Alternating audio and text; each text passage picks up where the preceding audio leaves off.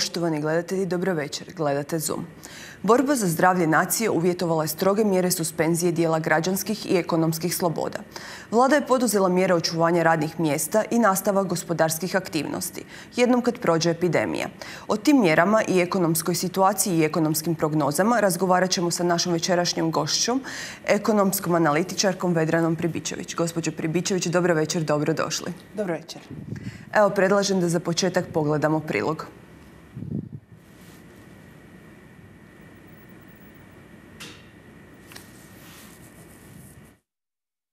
Ako se pita glavnog i odgovornog, trenutno bi svi trebali osjetiti krizu.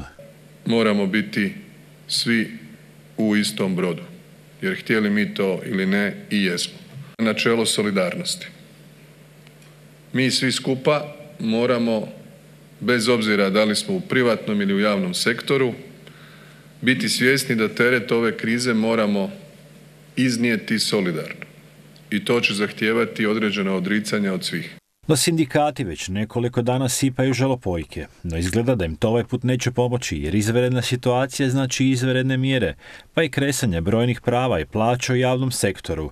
No oni u privatnom za sada mogu malo dahnuti. Država, a i vlada naravno, u ovom trenutku povlači poteze kojima jasno kaže u ovakvoj krizi staćemo iza hrvatskog radnika i staćemo iza hrvatskog gospodarstva u najvećoj mogućoj mjeri, najizdašnijoj mogućoj mjeri.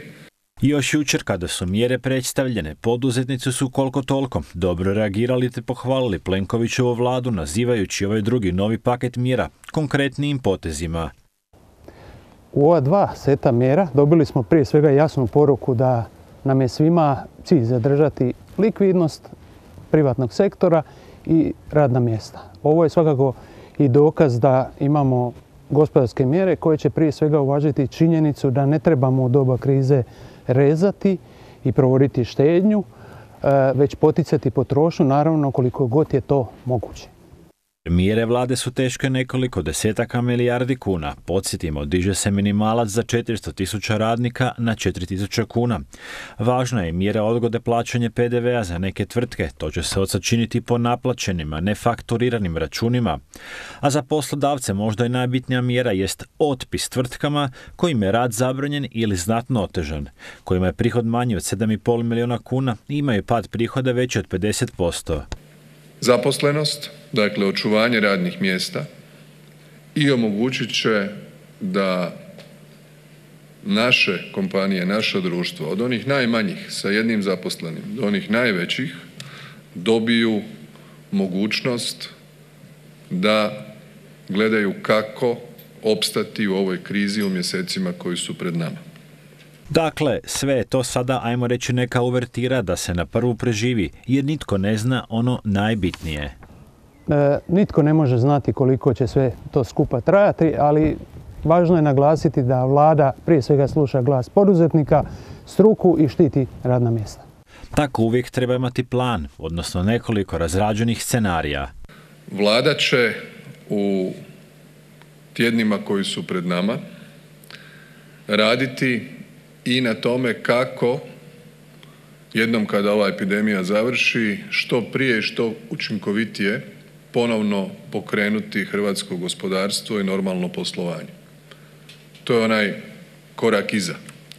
Idući korak u kojem moramo biti jako dobro pripremljeni da se brzo ponovno stavimo svi skupa na noge. Plenković je trenutno izgleda na svoju stranu dobio dio oporbe, privatni sektor, poduzetnike i gospodarstvenike. A sada ne sumnjamo slijede brojni dramatični ispadi i izjave sindikalaca iz javnih sektora, koji naravno ne žele da se dira prava radnika istog. Čuli smo, situacija sa koronavirusom je izazvala prekide lanaca snabdjevanja, onemogućila slobodan protok i ljudi i roba unutar Europske unije. Hoće li neizbježno uslijediti recesija, odnosno je li recesija već stigla? Pa recesija je sigurno već stigla, mi samo čekamo da to vidimo na službenim brojevima.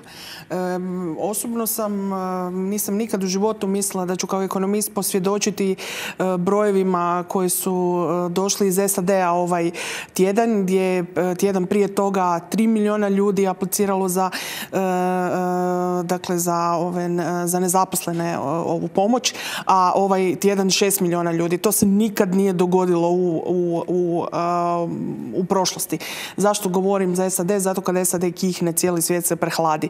I to je zapravo ono što nam dolazi. E, e, ja moram svima apsolutno reći i političarima i našim građanima e, da je Hrvatska ono pred jednim tsunamijem, a, a mi se zapravo plutamo na nekakvom luftiću. Dakle, čisto da dobijete otprilike dojam toga šta, šta, nam, šta nam zapravo dolazi u narednim mjesecima. Ne? Sukladno ovoj situaciji vlada je donijela određene mjere. E, samo dvije najvažnije mjere za pomoć gospodarstvu mogla bi u tri mjeseca koštati više od 30 milijardi kuna. Radi se o isplatama minimalnih plaće, odnosno potpora za čuvanje zaposlenosti i otpisu ili odgodi plaćanja poreznih obveza. Jesu li to dobre mjere? Pa u svakom slučaju to je bitan napredak od onoga što je prvo prezentirano. E, dakle, e, e, nema smisla da ljudima naplaćujete dađbine, odnosno poduzetničke dađbine ako, su, ako ste ih primorali da, da zatvore. Osim toga, mislim da je kada se u ministri napokon, pogotovo ministar financija, vidjeli punjenje državnog proračuna nakon uvođenja karantene, mislim da im je sve bilo jasno. I zato očekujemo da zapravo će, e, e, ovo neće biti kraj, dakle bit će sigurno i dodatne mjere. E, Hrvatska ima jako malen fiskalni kapacitet, što znači da u lošim periodima zapravo imamo jako mal taj buffer koji možemo iskoristiti, što recimo zemlje koje su konstantno imale suficite proračuna poput Njemačke ili poput zemalja koje imaju, koji su puno više fiskalni odgovorne nego mi, mi nažalost to nemamo. I ja se bojim bojim da će vrlo brzo e, na red doći i rezanje materijalnih prava u javnom sektoru. I to je i e, naš premijer e, najavio. Dakle, rekao je da su za sljedeći mjesec plaće i mirovine sigurne, a nakon toga ćemo vidjeti. Dakle, ja mislim da ovo, ovo evo ako usporedite za nas koji smo bili uh, u toj uh, dobi uh, kad smo mladi jel da 2009. 2008. godine kada to usporedimo sa retorikom koju smo mogli vidjeti u prošloj krizi ovo je sada zapravo vrlo vrlo ozbiljno stanje i mislim da je to političarima prilično, prilično jasno. Ne? Ali u ovime dobima rasta Hrvatska nije uspjela konsolidirati svoje dugove. Pa nažalost problem Hrvatske i dalje i dalje ostaje taj neprovođenje reformi. E, I jednostavno e, i, čak u, u dobu u, ekspanzije država i dalje bila značajan poslodavac. E, I to je zapravo glavni problem hrvatske ekonomije. Da vam je jedan od značajnih stvaratelja radnih mjesta upravo država. To je potpuno perverzno. Zašto kažem perverzno? Zato što moderne ekonomije trebaju nove poslove po mogućnosti u propulzivnim sektorima kao što je eh, IT, digitalna usluga i slično. Ne? Eh, dakle, ne može vam država generirati, generirati eh, rast zaposlenosti. Ne? I sukladno tome, sada kada se opet dogodila kriza, mi smo tome, e, mi smo e, to, na to upozoravali. Dakle, već je krenuo 2019. usporavanje svjetske ekonomije i ovo je sada jednostavno to ono što bi se dogodilo 2020. odnosno 2021. godine ili 2022. jednostavno preselilo 2000, u ranu 2020. godinu. Dakle, e, ovo je manje više bilo neizbježno, međutim Međutim, ova pandemija je to učinila deset puta gorim nego što bi bilo da se recesija dogodila za dvije godine. Problem Hrvatske je i udio duga u BDP-u. Ako padne BDP, tako će, porašće zapravo udio tako je. Tako je, tako je. E, to je e, ogroman problem zato što e, na, zapravo na taj udio utječe jel da, količine gospodarske aktivnosti. Dakle, pretpostavlja se da će otprilike da bi on mogao narasti na oko 90% dakle 90% udjela u BDP-u. To će naravno utjecati na našu mogućnost zaduživanja u ovom trenutku, zato što normalno zemlje koje imaju veći taj udio će se zadužiti po bitno višim kamatama. Druge zemlje koje imaju bolji fiskalni kapacitet jednostavno će se moći u ovom trenutku za ove mjere koje su, koje su upućene ka, ka zapravo umanjivanju efekata same pandemije zemlje koje su fiskalno odgovorne će moći to puno se više zadužiti po puno nižim kamatnim stopama. Dakle, to, nažalost, e, taj efekt e, će sigurno postojati. Dakle, efekt porasta udjela javnog duga u BDP-u na našu mogućnost zaduživanja. E, drugi veliki problem je također udio izvoza u BDP-u Hrvatske koji je zadnjih deset godina rastao, a naravno naš BDP tako postao osjetljiv na te promjene. Tako je, apsolutno, apsolutno i to je zapravo u e, dobrim vremenima to je dobra stvar. Prvenstveno zato jer je hrvatska ekonomija napokon počela živjeti ono što se zove, morat ću reći na engleskom, nema lijepi hrvatski izraz, export-led growth. Dakle, e, rast upogonjen izvozom i to je zapravo zapravo jedini recept rasta malih otvorenih ekonomija kao što je Hrvatska. Napokon smo nakon kataklizmične 2009. i duge recesije izašli smo kao djelomično transformirana ekonomija gdje je taj udio izvoznika u ukupnom broju poduzetnika porastao. Međutim, isto tako hrvatska ekonomija je sukladno tome počela biti puno osjetljivija na promjene inozemne potražnje. Dakle, e, izvoza. 28% hrvatskog izvoza ide na samo dva tržišta. Misli se na Njemačku i na Italiju.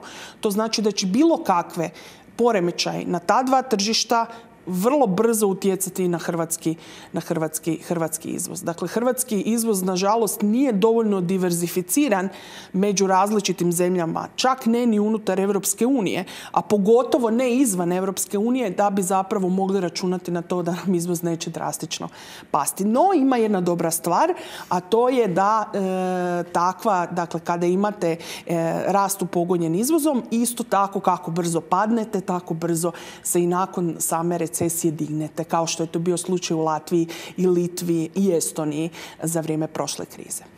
Velik problem je zapravo što je i velik udio BDP-a ovisi o turizmu.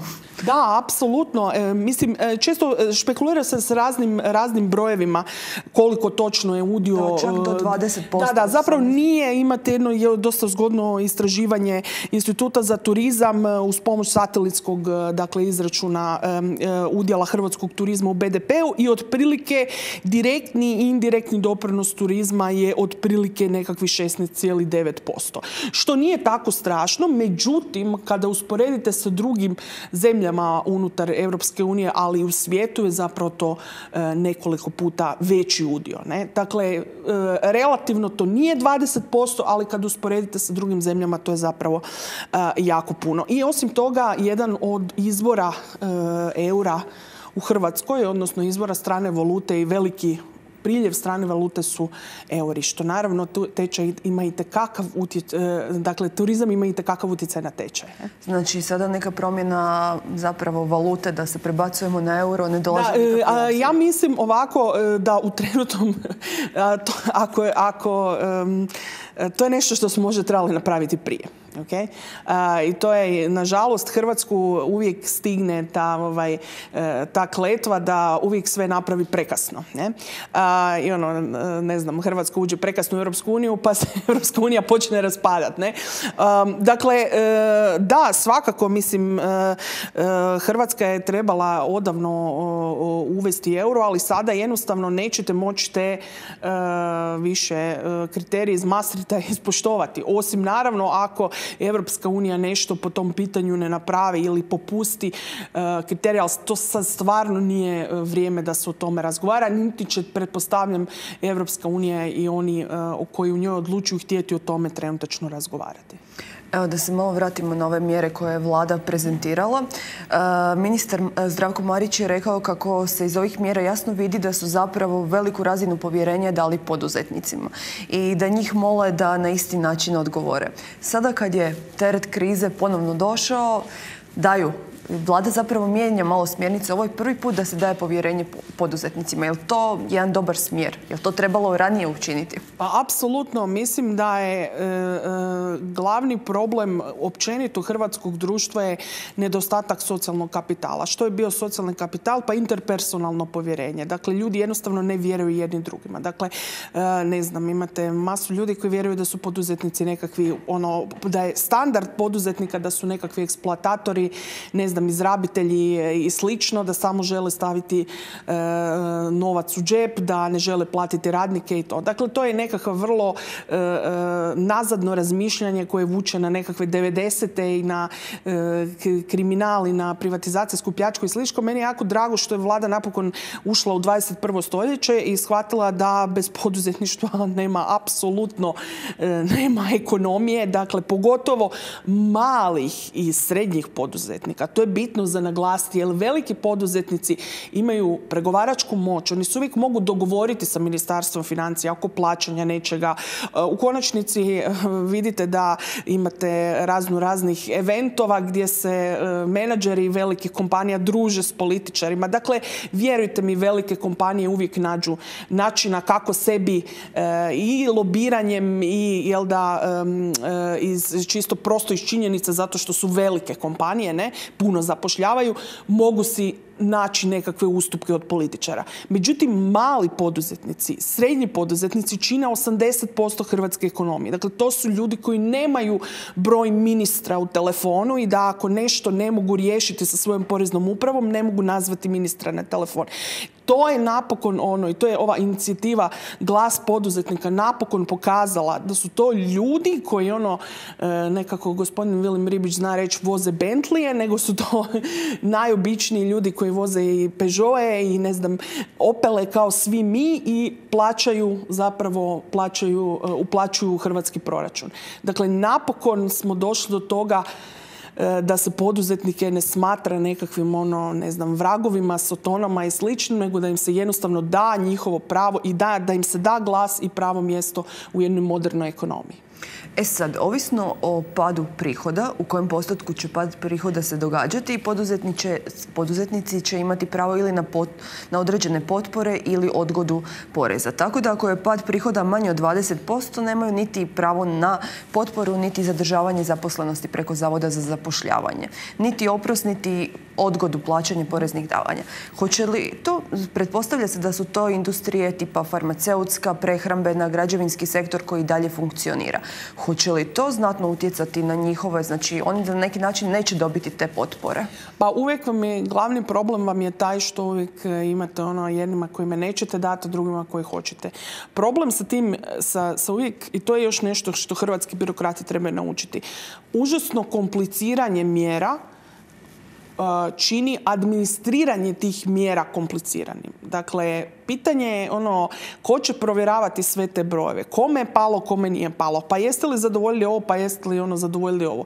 Ja mislim da je trebalo biti puno jednostavniji set i da je taj katov trebao biti puno, puno viši. Ne? Dakle, kojim, neko kom nije pao uopće prihod, jel da on ne dobije ništa, a ovima svi koji su, kojima je pao, dobiju nekakvu, u postotku nekakvu, nekakvu, nekakvu olakšicu. Ovisno o tome koliko, uh, koliko im je pao. Dakle, ovo je previše, nekako previše uh, granularno i to će samo, mislim, ja ne znam ko će, ko će to sve kontrolirati i šta će se dogoditi s poreznom upravom ovaj, kad ono nahrupi 50, 90 tisuća poduzetnika svako sa svojom bilancom, to će biti kaos. Ne? Pa evo, ovih dana je pristiglo čak 70 tisuća zahtjeva za 415 tisuća radnika. Znači, to je dosadašnje iskustvo. I to je poprilično je brzo obrađeno s obzirom kako je inače kod nas administracija. Da, to je fascinantno. To je sad fascinantno da odjednom može sve preko interneta, odjednom može se sve riješiti relativno brzo. Mislim da je to napokon smo došli do toga e, ono da treba cijelu javnu upravu digitalizirati i da jednostavno u konačnici to ne znači da ljudima morate dijeliti otkaze. To samo znači da ćete se vi moći baviti smislenim poslovima, a ne pre, ono, e, e, dakle, micanjem papira s jedne na drugu hrpu. Dakle, sasvim je jasno da se to može napraviti, da se to može napraviti relativno, e, da se zahtjevi mogu obraditi relativno brzo. Dakle, moguće je, ne? Znači, koronavirus nam je donio zapravo digitalizaciju sustava i uh, digitalizaciju školstva. Da, apsolutno, apsolutno. Ja mislim da će uh, ova epidemija, pandemija, nazovite ju kako hoćete, pandemija, uh, Hrvatskoj, ono, Hrvatske će se dogoditi jedan kvantni skok u 21. stoljeće. Dakle, donedavno smo imali problem da učitelji i profesori ne žele držati online, stalno su se žalili oko nečega, sad odjednom svi drže online i otkrili su te fantastične alate koje već postoje ono, skoro pa deset godina i masa od njih je besplatna i nema razloga zašto to ne biste koristili. Ne? Od toga da poslovi, uh, jel da, dakle, ono, uh, ja znam često puta reći da ne želim sjediti na sastancima koji su trebali biti e-mail. Ne? Dakle, ono, imate uh, masu raznih aplikacija preko kojih možete držati sastanke bez da ti ljudi budu uopće u, u, na, na, na istom, u istoj prostoriji, ne čak na istom kontinentu. Dakle, e, ova kriza, e, korona kriza, nazovimo je tako, će djelovati transformativno na hrvatsku ekonomiju i na javni sektor, ali i na privatni sektor. Jer ima i mnogi kompanija u privatnom sektoru kojima je trebao mali poguranac u 21. stoljeće. Postavlja se pitanje, s obzirom da su već neke tvrtke sada bilježe pad prihoda i pad primanja različitih. E, što je sa tvrtkama kojima zapravo sjedaju neke uplate iz prethodnih razdoblja, nemaju novo ugovorene poslove, ali će im prihodi pasti kroz neki dulji period? Da, naravno, e, ovo, nisu, ovo nije kraj, kako bi se reklo. ono, Biće još toga. Dakle, ovo su tek e, efekte i pretpostavljam ovoga svega će se protegnuti minimalno na sljedećih šest mjeseci, ako ne na godinu dana. Dakle, ovo mjere definitivno neće biti dovoljne, niti ovo zadnja, zadnji set mjera moguće je da će se ići i u uh, obimniji, uh, obimnije, obimnije rasterećenje. Jel, ne bih to čak nazvala ni rasterećenje. To je, ja mislim, jedna kriva premisa, jer ako ne radite, nemati, ja mislim da država nema pravo naplatiti, naplatiti vam poreze ako ne radite. Mislim, ono, evo, čisto da građanima objasnimo, jel biste vi platili telefon ako vam ga neko isključi? Dakle, neko vam je prerezao kabel za telefon i traži za vas da vam naplati telefon za taj mjesec. Jel biste to platili? Pa ne biste. Vrlo jednostavno. Ista stvar vrijedi i za poduzetnike koje je država zatvorila. Naravno, javno zdravlje je bitno. Država ih je zatvorila. Ne možete od njih tražiti pobogu da plate da plate dađbine. Vrlo jednostavno. Ali osim što je tu problem poduzetnika, to je problem i ljudi. Sad ljudi kažu brojni su ostali bez posla. Što je s nama? Sve mjere koje su poduzete, poduzete su isključivo za gospodarstvo i za poduzetnike. Što se događa sa ljudima koji recimo ne mogu otplaćivati svoje kredite. E, vlada je dala neku preporuku bankama, ali ta preporuka nije obvezujuća. Da, naravno da nije obvezujuća, ali banke će morati nešto napraviti s obzirom na to da će im se drastično povećati broj takozvanih NPL-ova, non-performing loans ili ovih e, kredita koji su ne, koji ne mogu naplatiti. Ne? Tako da će banke same po sili, e, po sili toga što će se događati u narednim mjesecima morati, morati nekako ljudima ili reprogramirati njih njihove dugove ili dati nekakav moratorij. Dakle, to će biti, to je neminovnost, bez obzira je li to vlada propisala ili ne. Da, ali zato je vlada propisala da za poduzetnike kojima je pad prihoda veći od 50%, a čiji godišnji e, prihod ne iznosi više od 7,5 milijuna kuna, da će se otpisati zapravo tri vrste poreza, a to je porez na dobit, porez na dohodak i na doprinose. I to u cijelosti. E, to, jesu li ti limiti opravdani, e, jer se time stavlja u neravnopravni položaj zapravo srednje poduzetništvo? Pa da, to je, eto, to je još jedan primjer primjer ovih, dakle, ono, tih granularnih mjera. Kako su oni došli do ovoga, ja ne znam. Do tog broja, zašto nije malo veći, malo manji, ja iskreno, iskreno, iskreno to ne znam. E, naravno, svaka mjera koju vi dovod, e, donosite, a partikularna je, će nekoga staviti u lošiji položaj, a nekoga u bolji položaj. E, ja se bojim zapravo da dosta naših srednjih poduzetnika je među izvoznicima i tu će zapravo njima će trebati dosta pomoći, a ta mjera koju ste naveli zapravo isključuje de facto isključuje izvoznike. Ne? Tako da ste na neki način one e, koji su zapravo najbolji dio hrvatske ekonomije, najproduktivniji, jer se u Hrvatskoj produktivne kompanije samo selektiraju izvoz, to nam istraživanja zapravo empirijska pokazuju, vi ćete zapravo njih s tom mjerom kazniti. A može li se nekako to ono što je namijenjeno izvozu uh, dogoditi da se preseli na naše tržište? Jer naše tržište nije samo dostatno. Mogu li se jednostavno jačati neke druge grane gospodarstva? Pa da, problem uh, je taj što Hrvatska izvozi um, izvozi uh, proizvode koji, se, uh, koji su zapravo poluproizvodi ili su nekakvi dijelovi za nešto tipa AD plastik radi dijelove za automobile, dakle one plastične dijelove unutra. Ne? I za mnogi od tih proizvoda su zapravo nema tržišta u Hrvatskoj. Ne? Tako da nemate kud to, nemate kud to, um, nemate kud to preusmjeriti. A osim toga Hrvatska je jako malo unutarnje tržište. Imate četiri, nešto malo više od 4 milijuna stanovnika. Dakle, mi nemamo opciju nego to negdje, negdje izvest. Tako da to je, to je nažalost ono, kletva kad ste mala, mala ekonomija kao što je Hrvatska. To je velik problem se pojavio zapravo sa poljoprivrednim sektorom. Poljoprivrednici mahom izvoze, a istovremeno mi uvozimo zapravo enormne količine da, Da, ovako, da. To je, to je možda e, dobra stvar, možda da o tome malo popričamo. Dakle, e, globalizacija kao proces je učinila e, dobavne lance jako dugima. Zašto su oni jako dugi? Pa e, zato što je načelo bilo smanjiti trošak, dakle minimizirati trošak. Sada, kada imamo situaciju da se dobavni lanci kidaju, e, možda postoji mogućnost da se ti dobavni lanci skrate. Odnosno da će potrošači biti spremni platiti primjerice poljoprivredna dobra više, recimo voće i povrće više nego što su ih plaćali u slučaju dugih dobavnih lanaca i onda će se te, ta roba moći proizvoditi lokalno. Dakle, imat ćete, i to je fascinantno kako vidite da niču male virtualne tržnice, e, da ljudi jednostavno počinju kupovati od e, lokalnih OPG-ova, e, čisto zato jer su ovi dugi, e, dugi dobavni lanci prekinuti. I, ali te virtualne tržnice su stara stvar, to postoji zapravo de facto od kad je interneta, ne, a pogotovo od kad je široko pojasnog interneta u Hrvatskoj. Međutim, one nisu zaživjele dok za njima zapravo nije počela postojati potreba. Dakle, ja tu vidim jedan dosta veliki potencijal jer se pokazalo da su ljudi, pogotovo u pitanju hrane, prilično averzni naspram rizika i puno bi rađe e, platili malo više, a da im e, lanac dobave hrane bude siguran, da de facto dobiju na svoj prag, dobiju direktno od OPG-a voće i povrće primjerice, nego da plate malo manje, a da zapravo da budu nesigurni hoće li naći u supermarketu to na polici ili ne. Dakle, to je jedna, ja bi se usudila reći, jedna prilika za hrvatsku poljoprivredu. Ministarstvo poljoprivrede je najavilo neke platforme koje će ići na tom tragu, iako mi vidimo na društvenim mrežama to već egzistira. Znači kasno... ne, a oni apsolutno kasno, oni apsolutno ništa ne razumiju tamo.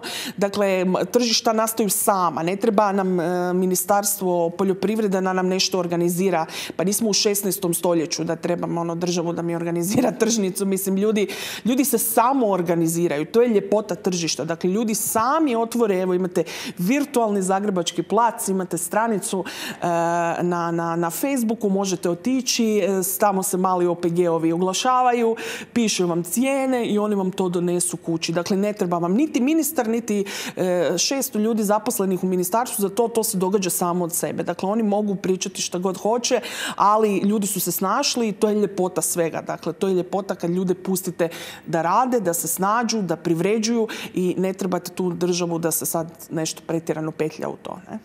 Kad ste spomenuli državu, ostaje pitanje tog glomaznog državnog e, aparata.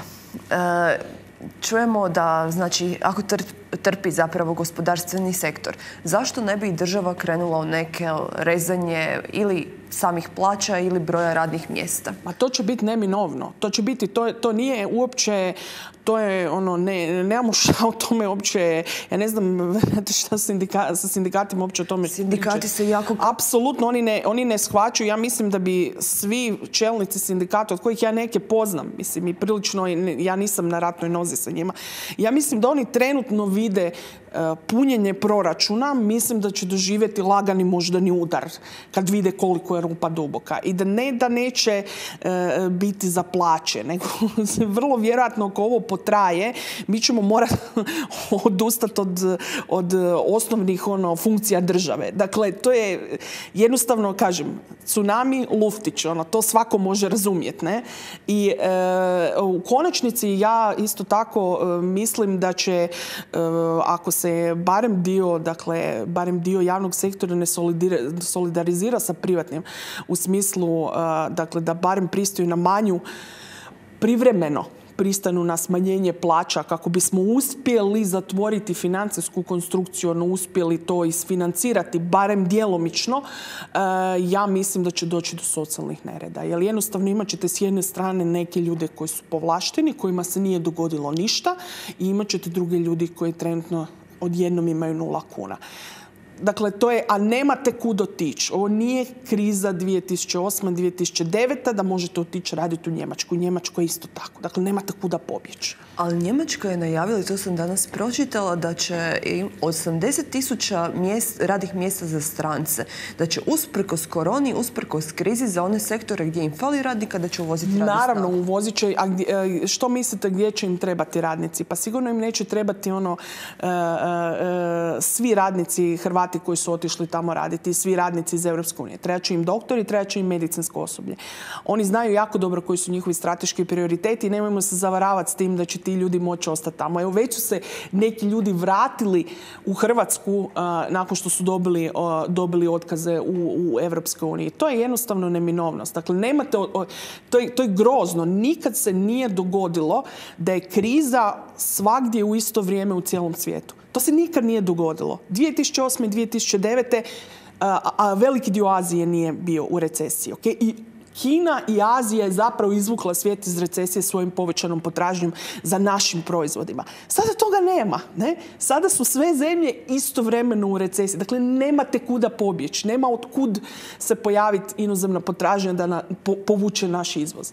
Tako da je to prilično, ja mislim, kataklizmično i mislim da, da, da su, nažalost, ljudi koji su dugo sindikalni vođe, ja mislim da su oni često puta u jednom potpunom E, e, ono odvojeni od stvarnosti i ja mislim da definitivno im neko treba vrlo brzo pokazati te brojevi i reći ok, toliko ima, a sad vi birajte šta možemo. Možemo ovo s tim, a možemo ovo. Ali ako, ako ne budemo dirali plaće ako barem ono se ne solidarizirate malo sa, sa, sa, sa privatnim sektorom, doći će do socijalnih nemira. To je jednostavno tako, ne?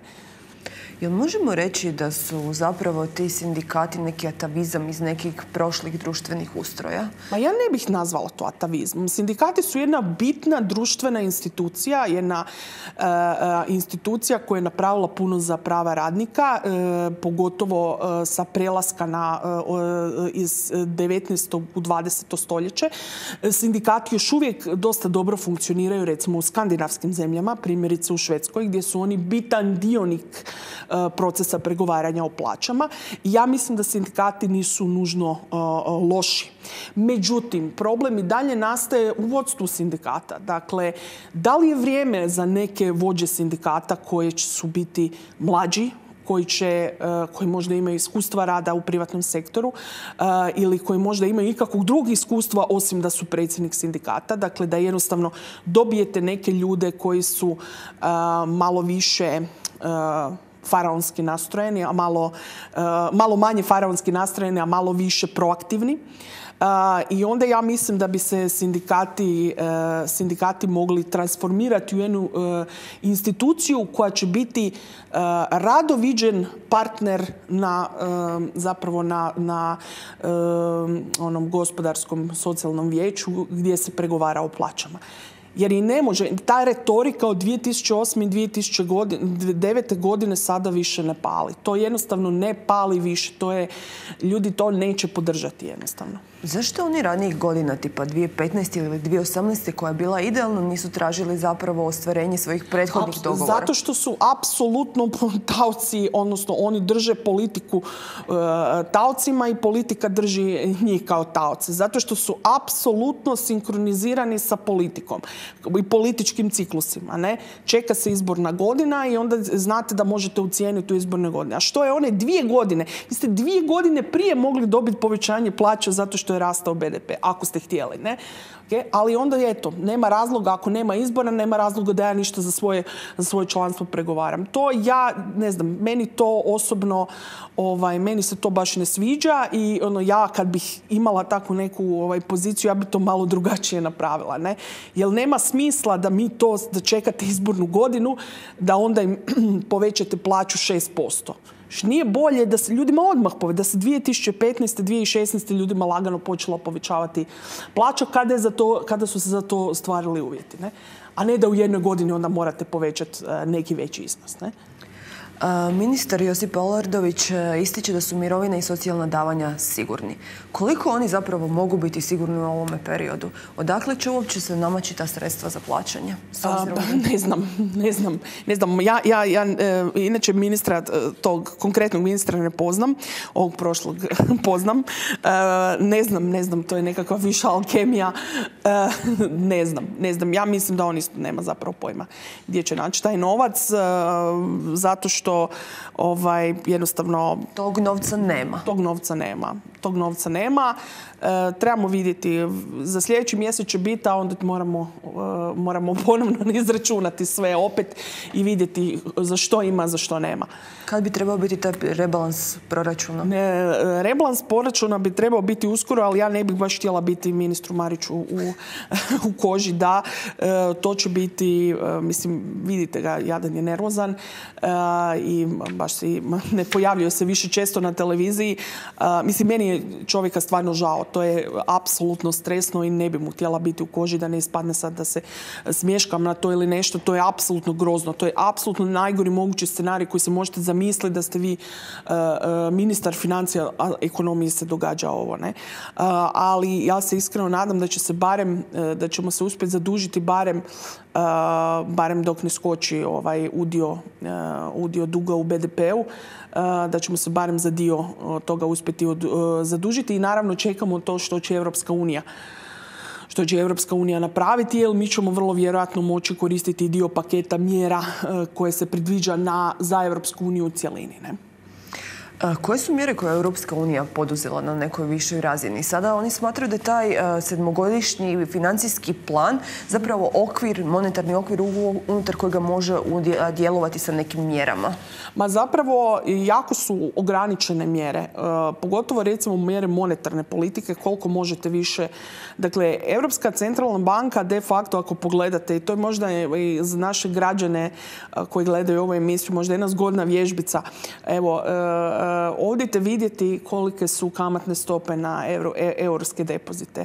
Eh, između 0,12% i 0,1%. Dakle, eh, cijela europsko monetarno područje, dakle EMU, dakle cijela eurozona i posljedično i Hrvatska, jel da, koja je, ja kažem, pridruženi član s obzirom na količinu eura koja je u Hrvatskoj, jednostavno je preplavljena eurima. I sada zapravo zbog tog kvantitativnog olakšavanja olakšavanja koje ste radili unazad zadnjih x godina, e, monetarna politika više skoro ništa ne može napraviti. Kamatna stopa je de facto nula. Ne? Dakle, vi ne možete... Jedino što recimo u monetarnoj politici još ostaje takozvani helicopter money ili helikopterski novac. Da ljudima direktno dijelite da Europska centralna banka svakom građaninu e, Europske monetarne unije pošalje ono, tisuću eura doma i evo potrošite to. Dakle, to je jedino što vam je ostalo. Ne? Dakle, to je, to je, nažalost, to je nažalost tako. Ne? To je nažalost tako. A što je sa državnim obveznicama? Ministar Marić je najavio da će ih dati u promet. Ne znam, ne znam, ne znam. Treba naći kupca. E, naši mirovinski fondovi. E, nažalost, sav višak što su mirovinski fondovi ostvarili 2019 je pad e, vrijednosti e, dionica u početku godine zapravo nažalost taj dio likvidnosti pojeo i ne znam da mirovinci mogu to više, više apsorbirati, dakle kupiti. što se tiče vanjskih, vanjskih investitora, to je isto mnoge, mnoge zemlje Europske unije će nuditi obveznice, sada Hrvatska ne znam koliko će to visoko kotirati, pogotovo zbog, svog, zbog toga što imamo toliki udio turizma u BDP-u, a znamo jel koje sektore najviše pandemija, pandemija zapravo zahvaća. Zahvaća, tako A s druge strane, možda nam to može biti i spas ako pandemija nekako popusti i ako se ove mjere također smanje do šestog mjeseca, pa možda se barem spasi To je glavni problem. Glavni problem je što eh, s obzirom da ti turisti dolaze iz drugih zemalja, mi ovisimo o tome koliko dobro druge zemlje stavljaju pandemiju pod kontrolu. Dakle, šta, nama će biti super bitno za našu turističku sezonu kako se, šta se događa u Italiji, šta se događa u Njemačkoj, šta se događa u Skandinaviji. Evo sad imamo savršen primjer toga švedskih mjera koje su bile vrlo liberalne, pa ispada da se i tamo zaraza širi. Dakle, čini se da je najbolji način da ono, zaustavite pandemiju je da potpuno sve zatvorite, kao što smo napravili mi. dakle, jako bitno će biti E, naši, dakle, šta se događa u zemljama iz kojih dolaze naši turisti. Ujedinjeno kraljevstvo, SAD i slično njih možemo i zaboraviti. SAD će, pite Boga šta će se tamo dogoditi do, do šestog mjeseca, to je apsolutni, apsolutni kaos. ali ja vas moram pitati ikakve prognoze za SAD. E, SAD sa Trumpom na čelu. Trump trenutačno krivi e, Kinu za svu situaciju. M zbog zaraze koronavirusa, M zbog ekonomske situacije. Uopće kako su predviđanja za SAD? Kao što ste sami rekli, kada SAD kihne zapravo cijela ekonomija se Problem je ovako što je trenutačno e, jedan od čelnika Feda rekao da se e, očekuje veća nezaposlenost nego u velikoj depresiji. To je, ne znam, to je, to je ono, pad BDP-a od 30% i to je, ne znam, kažem vam, e, evo, čisto da ilustriramo, kada bi mi neko kao ekonomistu dao izbor da cijeli planet Zemlja mora proći ili jedno ili drugo. Dakle, ili ovakvu pandemiju ili udar asteroida. Ja bih izabrala udar asteroida. Zašto? Jer to je lokalizirano, ne? Dakle, a ovdje imate de facto cijeli svijet koji je, koji je u lockdownu, ne? što će se dogoditi u SAD-u? U SAD-u se očekuje velik broj mrtvih. prvenstveno zato jer ne samo zbog njihovog zdravstvenog, zdravstvenog sustava, nego jednostavno zbog e, načina kako je njihova država složena. Oni imaju te države, pa imate tu federalnu vlast, pa imate lokalnu vlast, pa imate vlast na razini države i tako. To je prilično komplicirano za koordiniranje. Ne? To je razlog zašto Kina recimo je toliko dobro, ovaj, e, dobro odgovorila kad se sjetila odgovoriti na, na, na, na samu pandemiju. Ne, jel, tu nemate onda problem koordinacije. Ako imate e, komunističku partiju koja vam naredi nešto, onda to morate napraviti. A ovdje u demokracijama imate puno tih različitih, e, to se zove dijeljenje moći, ne? različitih instanci, onda to treba koordinirati i to je prilično komplicirano kod SAD-a. Ne? Ali e, ono, kažem, 30% pad BDP-a. To je rekao jedan od čelnika Feda. Ne znam. Ne znam, ne znam što bi... Ono, ne znam, ne znam što bi uopće rekla. Mislim, to je ono, da zanijemite. Velike ekonomske krize u povijesti su izazivale i velike ratove. Osobito je, postoji mogućnost no, izbijanja nekih sukoba koji bi bili ovako povezani sa ekonomskom situacijom? Pa ovako, e, e, pandemije kao takve, dakle krize da, ali pandemije kao takve su bile zapravo dosta, e, sad će zvučati užasno, ali blagotvorne za ekonomiju. Ako imamo vremena, spomenula bih dvije 1349. godinu, davnu 1349. godinu i pandemiju kuge koja je zapravo u, ako se ne varam, to je najkonzervativnija procjena, u jednoj godini ubila jednu trećinu europskog stanovništva. E, to je apsolutno užasno, međutim, posljedica toga je bilo zapravo polagani slom feudalizma i užasan e, veliki rast prava radnika i njihovih plaća koje zapravo onda kasnije je to omogućilo razvoj kapitalizma. Ne? A druga velika pandemija, to je ona španjolske gripe, je zapravo konsolidirala, konsolidirala način na koji organiziramo javno zdravstvo. Dakle, prije te pandemije nismo imali ono, bolnice, dakle, zdravstveno osiguranje i to, nego je to bilo vrlo, vrlo fragmentirano i vrlo, ono, vi biste platili doktoru kad biste išli i slično, ne? A nakon toga države jako počinju zapravo svoje javno zdravstvo ulagati. Dakle, te dvije velike pandemije su zapravo djelovale transformativno na cijelu, cijeli svijet, cijelu globalnu ekonomiju i tako će i ova djelovati transformativno. Na način na koji, na način na koji putujemo, na način na koji se obrazujemo, na način na koji radimo posao, na način na koji trgujemo. Dakle, neće više biti možda toliko dugih dobavnih lanaca, stvari će se raditi lokalno i ja vidim tu puno puno, puno prilika. Međutim, nažalost, tu će biti i velikih ljudskih žrtvi kao i svakoj pandemiji. Ne?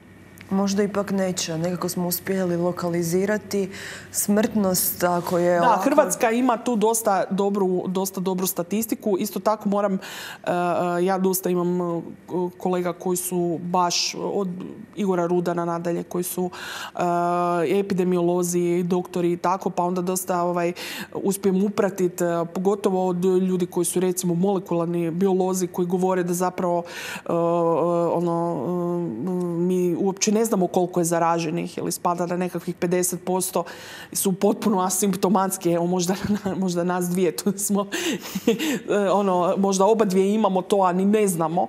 A, ali e, čini se da, da je smrtnost relativno niska. Međutim, e, ja mislim da e, jednostavno ne možemo biti u ovom trenutku nehumani i reći ok, ono, ljudski životi, pa što, smrtnost je samo 0,5%. Mislim, šta je 0,5%? Ako se zarazi kompletan svijet, 0,5% je samo, evo, ono, koliko, 350 milijuna ljudi ili koliko već ne. Evo, samo, mislim to. Da citiram onoga srpskog političara, za one koji su umrli, smrtnost je 100%. da, da, da. Ali, ono, ne, može, ne možemo jednostavno dopustiti da, da to hara svijetom i to je, ono, nehumano i jednostavno se moramo s tim boriti, nemamo, nemamo izbora, ne? Naš stožer se poprilično dobro bori, iako smo ograničeni sada ekonomski, ali bolest zapravo ta krivulja ne raste eksponencijalno, nego linearno. Linearno, linearno, da. E, e, ovisi, neki tvrde da još uvijek raste eksponencijalno. E, mi imamo, mislim, mi često puta zaboravljamo neke naše ljude koji su dali bitne obole u javnom zdravstvu, primjerice Andrije Štampara. Ne? Dakle, mi imamo dugu tradiciju kvalitetnog javnog zdravstva i imamo e, dosta dobrih stručnjaka po tom pitanju. E, prvenstveno mislim na, na e, gospođu, dakle, doktoricu, tako je, Alanku Markotić. A isto tako, mislim, naše mjere su vrlo, vrlo restriktivne. Dakle, mislim da jedino Srbija ima restriktivnije mjere od nas. Naravno, zbog toga će naša ekonomija jako patiti, ali ćemo se isto jako tako relativno brzo uspjeti, uspjeti riješiti riješiti zapravo pandemije. Ne? Ako se riješimo pandemije, postoje velike mogućnosti zapravo za neki postepeni ekonomski uzlet. Pa da, kažem, to i dalje uvisi o tome, dakle, problem sa globalizacijom je hiperpovezanost. Dakle, hiperpovezanost ljudi, hiperpovezanost ekonomija i nažalost, e, ako druge zemlje, Italija, Njemačka, e, evo sad imamo Španjolsku, ne, e, Francuska, ako ne eradiciraju koronavirus i ako ne svedu tu pandemiju neke ono normalne mjere i ako ne uspore rast, džaba smo mi sve živo zatvarali, jer će se opet nakon, jel da, nakon ljeta ćemo opet imati, opet imati pandemiju. Ne? Tako da, e, to je problem globalizacije. Kad imate ono jako povezan svijet, onda jednostavno vaš, vaš, vaš problem E, odnosno vaš, problem vašeg susjeda, a ne nužno samo i problem vašeg susjeda vrlo brzo postane vaš problem. Evo za kraj jednostavno neka preporuka ili neki zaključak. Pa ne znam što bih točno zaključila. Eto, ima jedna stara, stara kineska, navodno kineska poslovica da Bog doživjela u zanimljivim vremenima. E, nemojte samo dizati, dakle, građanima bi samo preporučila da ne dižu paniku, nemojte dizati novac iz banaka, nema razloga da se toga bojite, e, nema razloga da kupujete, da ono, e, pravite nekakve zalihe i slično. Za sada hrane ima i bit će je i jednostavno ćemo ovo morati svi kod kuće presjediti i eto, ostanite doma, to je. Gospodin Pribićević, hvala vam na vašem dolasku na Z1 televiziju u Zoom Zagreb studio. Eto, to bi bilo sve. Poštovani gledatelji, bilo je to sve za večeras. Vidimo se sljedeći tjedan. Hvala i lijep pozdrav.